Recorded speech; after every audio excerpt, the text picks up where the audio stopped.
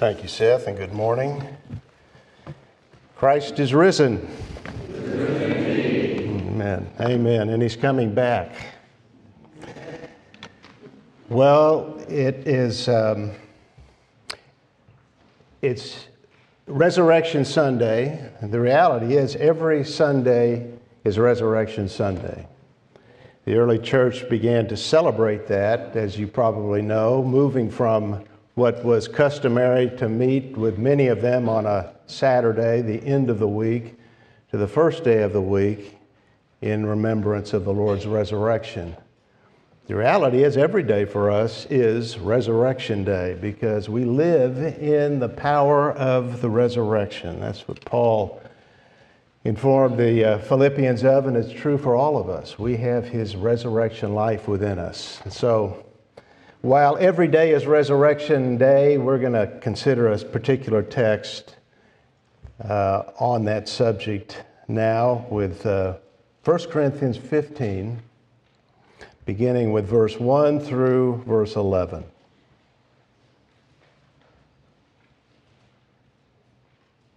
Now I make known to you, brethren, the gospel which I preached to you, which also you received, in which also you stand, by which also you are saved, if you hold fast the word which I preached to you, unless you believed in vain. For I declared to you as of first importance what I also received that Christ died for our sins according to the Scriptures, and that he was buried, and that he was raised on the third day according to the Scriptures, and that he appeared to Cephas, then to the twelve. After that, he appeared to more than 500 brethren at one time, most of whom remain until now, but some have fallen asleep. Then he appeared to James then to all the apostles, and last of all, as to one untimely born, he appeared to me also. For I am the least of the apostles, and not fit to be called an apostle because I persecuted the church of God.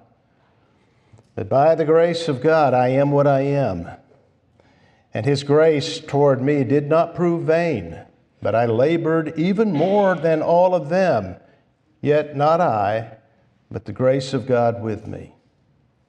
Whether then it was I or they, so we preach, and so you believed. May the Lord bless this reading of His Word and bless our time of studying it together. Let's bow together in a word of prayer. Elizabeth and Stephen, and thank you, James. James Harrell, everyone.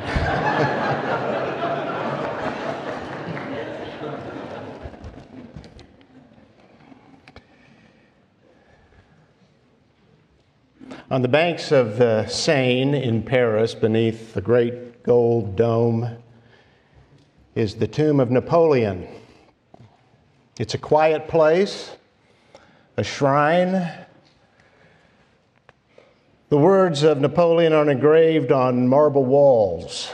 Around the sarcophagus are listed the names of all the battles that he won Austerlitz, the pyramids, Jena, and many others. But what the monument actually recalls is his greatest defeat. Not Waterloo, death. Not even Napoleon, called the greatest captain of his age, could conquer the grave. No general or emperor has. That victory belongs to one man, a carpenter. And his resurrection proved that he is far more than that. He is God the Son, and all who believe in him will also be resurrected. That is our hope. Paul explained it in 1 Corinthians 15, which is the classic chapter on the resurrection. He wrote it because there were some men in Corinth who denied it. So in verses 1 through 11, he shows Scripture taught it, and men witnessed it. The tomb is empty, Christ is alive, and we have a glorious future. This is an essential part of the gospel, and Paul begins the chapter by reminding the Corinthians of that fact and these facts. This is what he had preached to them when he first came to Corinth.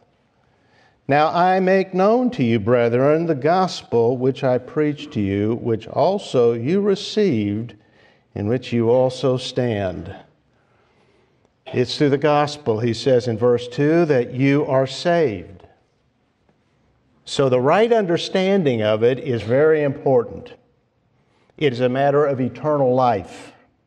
That's the promise for all who believe. If, Paul says, you hold fast to the word, if you continue believing the gospel, if you persevere in faith, those who have genuinely believed will persevere in faith. Paul didn't question the reality of the Corinthians' faith. It was only some in Corinth who had denied the resurrection, not the entire congregation, not them as a whole.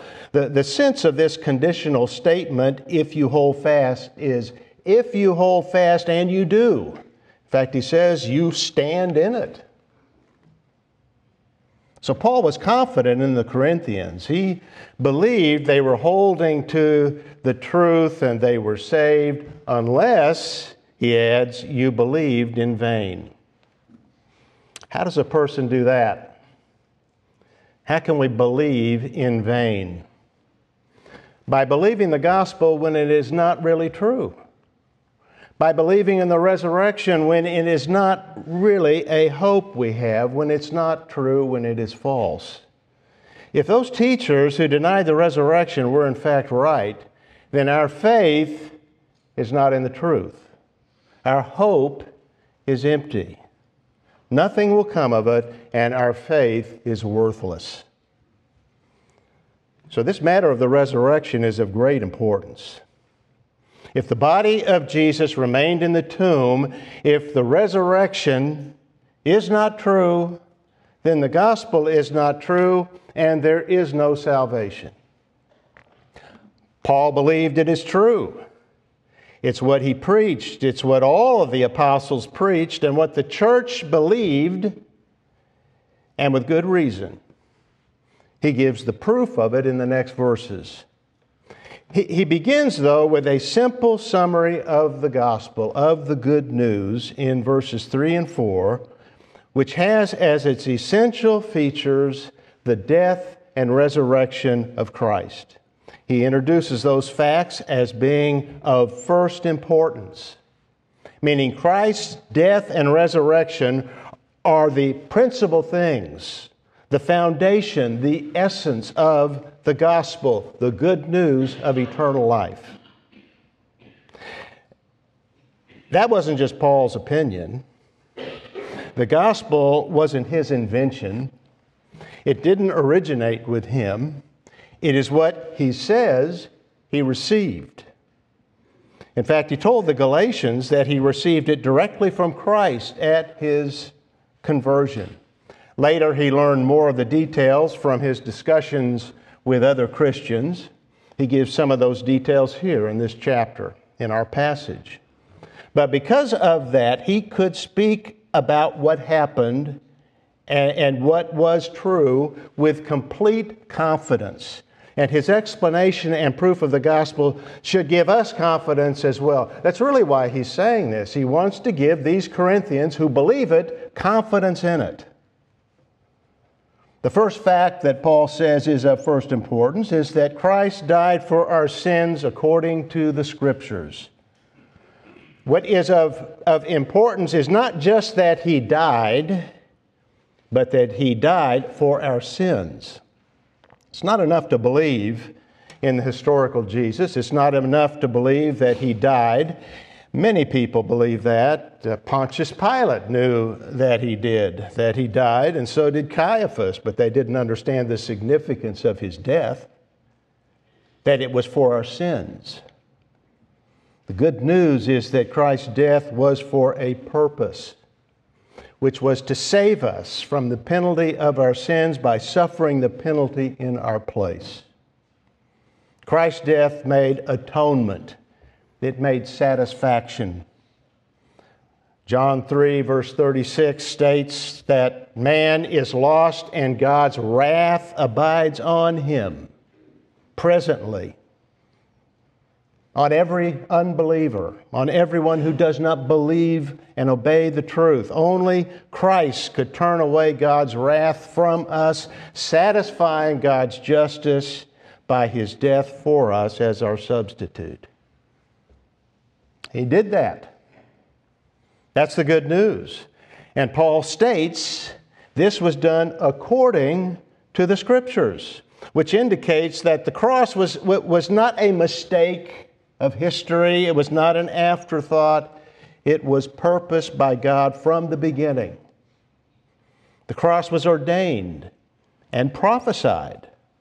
Paul doesn't quote specific Old Testament texts here, but there were a number that he could have cited. Most likely, he had in mind Isaiah 53, verses 5 and 6 and 10 had that in mind where the prophet speaks of the Messiah being pierced through for our transgressions and our iniquity falling on him.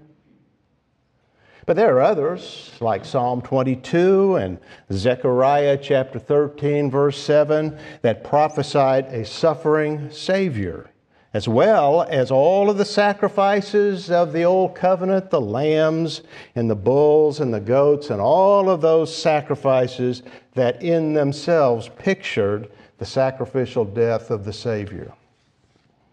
The death of Christ was not a secret. It was revealed in the Old Testament, and it is the, the very heart of the gospel.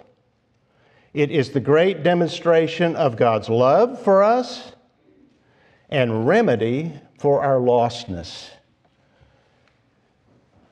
God could have just abandoned us and done so justly. Could have just left us in our condition and our, uh, uh, and our condition of unbelief and rebellion and, and all of the terrible consequences of our wrongdoing. He could have left us in that condition. He's not obligated to save us. But He didn't leave us in that condition. He loved us so much, even in our rebellion, that He gave His Son to die for us. John Stott has written, It takes a hard and stony heart to remain unmoved by love like that, which is more than love. It is God's sovereign grace, His unconditional love but many are unmoved, or they have reinterpreted the cross as being only an example of God's love for man to give us a, a model to follow and, and so move us that we will love one another and we will live well. But mankind needs more than an example. We need a Savior to take away our sin and our guilt. Christ did that on the cross. Because he did, Paul wrote it, the cross, is of first importance. And then in verse 4, he added that Christ was buried, indicating the genuineness of the Lord's death, the finality of the Lord's death. That he had a genuine body and a reasonable soul. He was a true man. He, and, and as a true man, a real human being, he truly died. And died in our place. And that's evident from the fact that he was laid in a tomb. But that was not the end of the matter. He was raised on the third day, according to the scriptures. Again, Paul doesn't cite a text, but he's probably thinking of Psalm 16, verse 10, where David wrote, you will not abandon my soul to Sheol, nor will you allow your Holy One to undergo decay.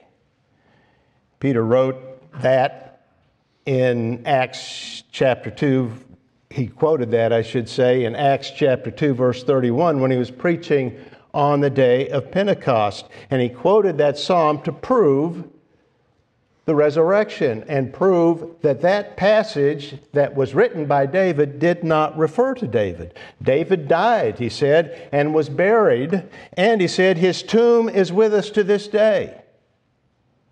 David's body turned to dust. But the promise in the psalm is that God's Holy One would not undergo decay.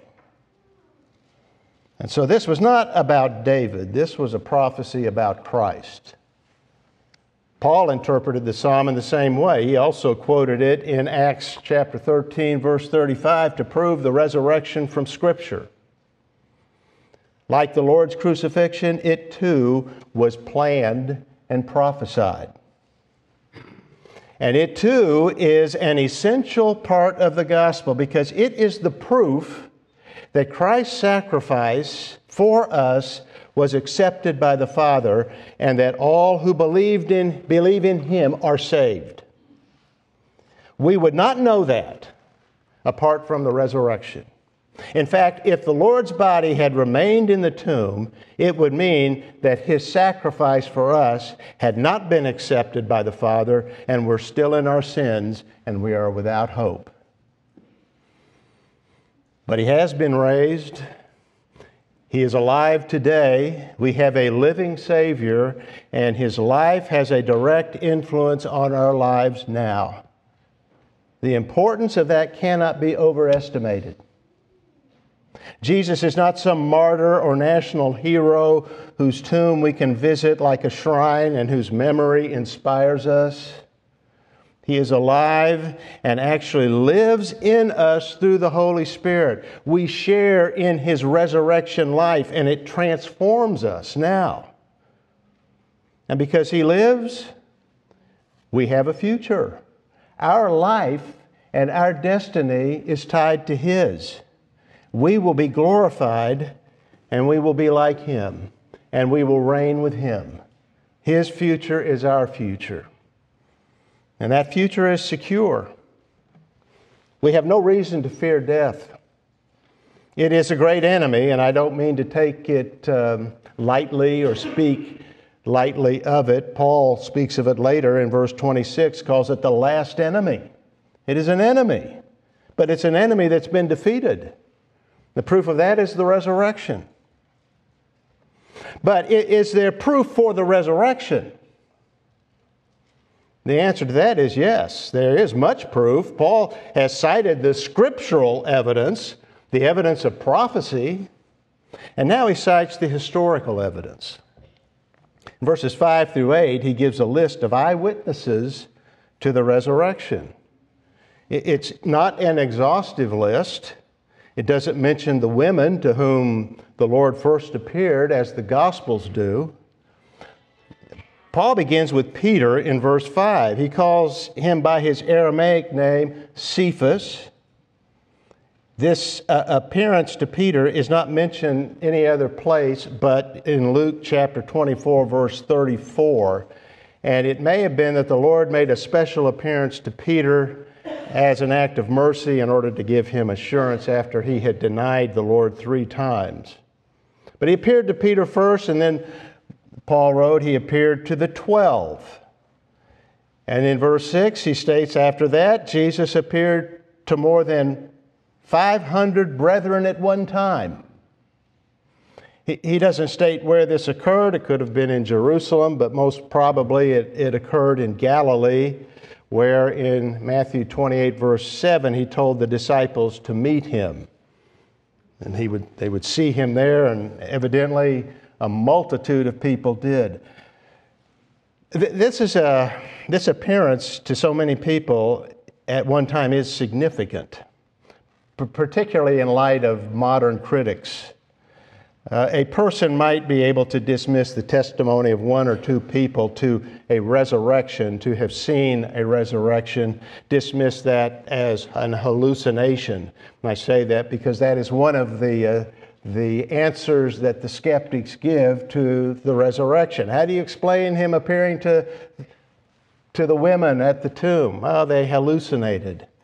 Well, th- that might make some sense if it's to one or two people, but it's difficult to establish a mass hallucination with over 500 people testifying to seeing the same thing at the same time. This is very significant evidence. Most of those people were still alive, Paul wrote. So if the Corinthians entertained any doubts, they could go and find a few of these people and they could have the personal interview with them. They, the, the evidence was there, the testimony was still there and alive, and they could, they could access that.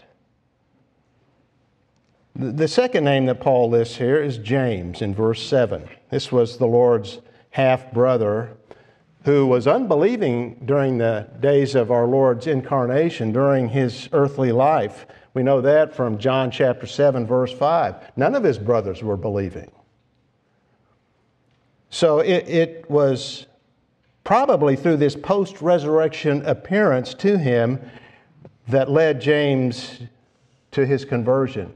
We, we know early on they believed because in Acts chapter 1, verse 14, there gathered in the upper room before the day of Pentecost are all of his brothers. His whole family is there. Then he appeared to all the apostles. Not one was missing. This may have reference to the Lord's ascension into heaven from the Mount of Olives. It, it, it uh, is an impressive list of evidence. The great Princeton theologian Charles Hodge calls, calls the resurrection of Jesus Christ the best authenticated event in the history of the world. Well, that's certainly true of any event of the ancient world. Many of them have very little evidence to support them. Gordon Clark, who was a Christian philosopher and historian and theologian, um, wrote a commentary on 1 Corinthians 15, and he gave a couple of examples of the little evidence that supports certain historical events that secular historians believe. Both are ancient battles that he, that he cited. One was fought by Hannibal, and it was a, a battle with a particular tactic that was noted by the Roman historian Livy in his history. And another was the battle that Caesar fought. Um, it's mentioned in his own Gallic Wars. It's a about the, the invasion of Britain. Well, the evidence for both of those events is, is very small. Each is mentioned only once in ancient literature in those, those sources that I mentioned, but neither one is disputed.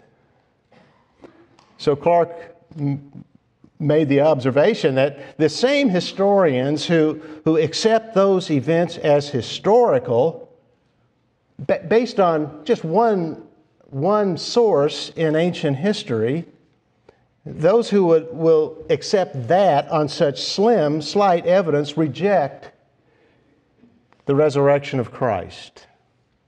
Not based on historical research, but on the theological presupposition, which is what a person begins. A presupposition is, a, is what one believes. You begin with faith. And what they begin with in their faith is that the dead don't rise.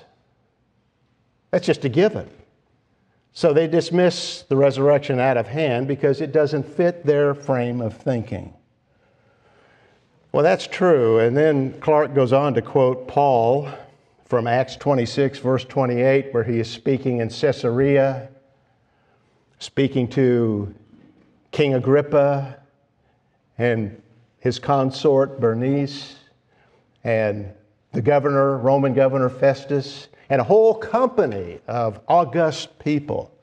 He stands before them and he says, Why should it be thought a thing incredible to you that God should raise the dead? Well, they were skeptics too. Those ancients were as skeptical as people are today. But why would it be, why is it incredible to you that God can do that? There's nothing incredible about that. There's nothing God can't do. The problem people have with the resurrection is they don't believe in God. Or if they do, they don't believe a God of much power No, there's nothing too difficult for God. And men do think it incredible. It takes more than historical research and piles of evidence to convince people of the truth of the gospel. In fact, we'll never convince them by seeking to reason with them. Not that it isn't reasonable, it's highly reasonable, but it takes the sovereign grace of God to cause a stone dead heart to believe.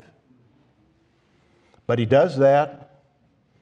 God causes unbelievers to believe the Scriptures and the witness to the sacrifice and resurrection of Christ. He did the Apostle Paul. He's the greatest example of all of God's grace toward the sinner. And Paul cites himself as last on his list of eyewitnesses to the resurrection. After appearing to all of the apostles, he writes, And last of all, as to one untimely born, he appeared to me also. Also. It's like, even to me, he appeared. That appearance occurred on the Damascus Road as Paul, then known as Saul of Tarsus, a zealous young rabbi, was on his way to that city to kill Christians and to terrify the church. But Jesus stopped him in his tracks with a blinding light of glory and the simple question Saul, Saul, why are you persecuting me? He saw in that light the resurrected Christ. He confessed him as Lord and was converted. It was sudden and unexpected, it was a, a, complete and immediate turnaround. He described his conversion as one untimely born, like a birth that occurred earlier than expected, maybe due to an accident. And he was born into his new life and into the apostolic band suddenly, violently, when he was snatched out of his sin and rebellion by the glorified Christ. It was an abnormal spiritual birth, and Paul seems to have felt that it was to his shame that he had to be saved in that way, even though it was to God's glory. But Paul felt he was completely unworthy to be an apostle. In verse 9, he calls himself the least of the apostles, not fit to be called an apostle because I persecuted the church of God. Nevertheless, God chose him. And Paul never got over the grace of it. As he explains in verse 10, it was all of grace, unmerited favor, unconditional love.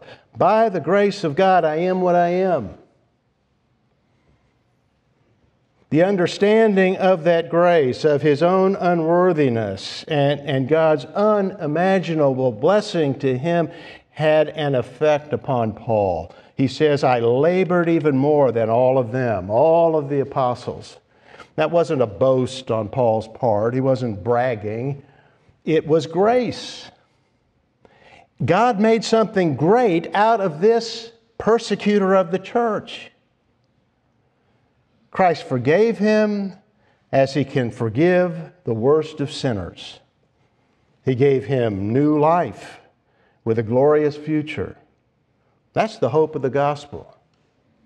The gospel preached by all of the apostles. He concluded in verse 11 Whether then it was I or they. So we preach, and so you believed.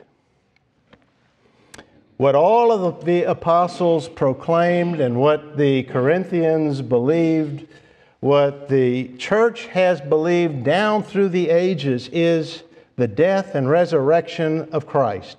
That is the gospel.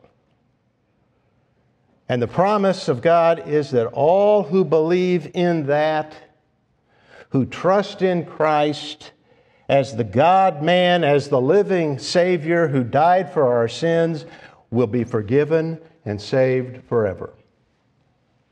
That hope is certain because Christ's resurrection happened. He defeated the enemy that no man can defeat. He conquered death because he paid for the sins of, of all who put their faith in him And having paid for their sins, he won the battle of the grave. And that sealed the future for everyone who's put their faith in him, his resurrection. Yet so many people I- I ignore that future and the hope that is there for all who put their faith in him and instead live for the present in an attempt to find happiness in this world, fulfillment in this world. That's doomed to failure. That's doomed to unhappiness, regardless of all that they might achieve. I came across this quote from Napoleon. In his last days as a prisoner on the island of St. Helena in the Atlantic Ocean, he reflected on his life and his end. He wrote, I die before my time. My body will be given back to the earth to become the food of worms. Such is the fate of the great Napoleon. Then he added, What an abyss between my deep misery and the eternal kingdom of Christ, which is proclaimed, loved, and adored, and is extending over the whole earth. What a despairing thought. The body being given back to the earth to become food for worms. That's man's destiny outside of Christ, from the least of them to the greatest. But those who believe in the gospel the apostles preached have a share in the eternal kingdom of Christ and the resurrection to come. We have eternal life now and forever. Can you say that you have it? Can you say that you have eternal life now? If not, if you're not sure, understand that Christ died for sinners. God accepted his sacrifice for us. Now, all who believe in him, who put their trust in him and rest in him alone for salvation, are saved at that moment. If he could save Saul of Tarsus and make him an apostle, give him the certain hope of resurrection, then he can do that for the worst of sinners. He can do that for you. So look to him, believe in him, and be saved. I'm going to close in a word of prayer, and then we're going to have a hymn, and that will lead into the Lord's Supper. Let me pray. Father, we do thank you for this day, Resurrection Day, which, as I said earlier, and which we all know, is every day of the Christian's life. What a blessing to be one of your people. Life may be difficult. It's going to be difficult for all of us in some way or another.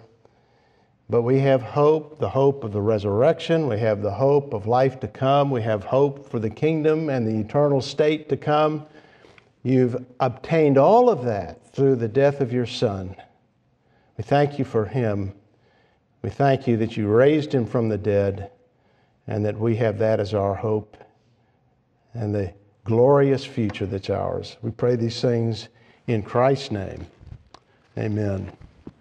Well, let's stand and sing number 41 in the Songs of Praise book, Behold the Lamb, number 41.